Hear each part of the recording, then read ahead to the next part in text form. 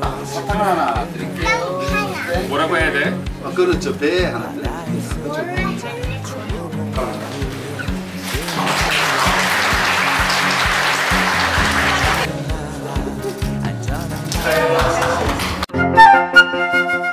네, 감사합니다.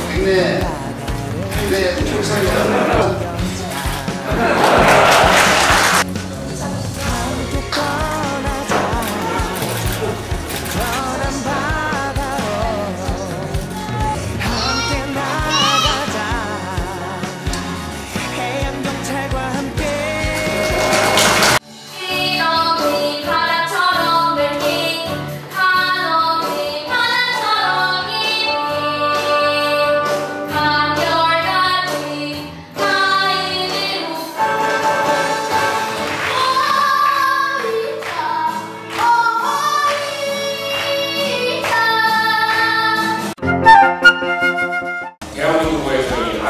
바다 앞으로 좀 아름답게 지킬 수 있도록 많은 도움 어, 드리도록 하겠습니다.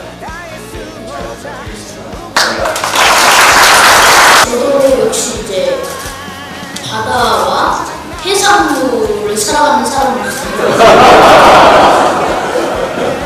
예, 우리나라 이제 바다를 보존해 나가고 그런 활동을 해야 한다고 생각하기에 저는 So,